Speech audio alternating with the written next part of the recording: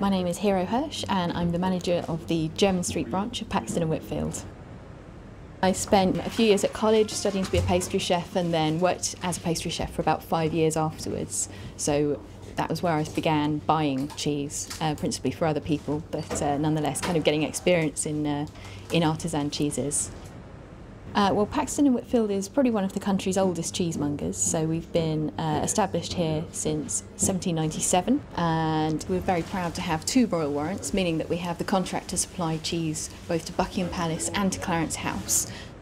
And based on very strict criteria on them, the history of our supply, the quality of our product, they'll decide whether we can continue to, to have those sort of seals of approval.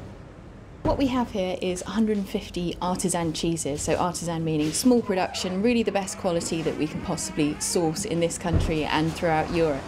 I would say in terms of uh, surprising quantities, we do sell about six and a half tonnes of Stilton in December alone here.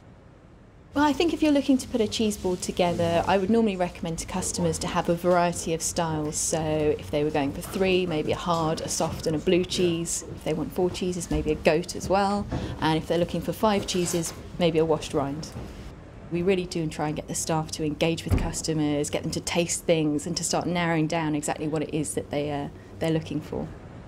So aside from the, the sort of famous Royal Warrant clients we have, I mean, there's so much history in this area and so many famous people have come through it through the ages. I mean, apparently Lord Byron would get his cheese here. We know that Winston Churchill definitely shops here as well.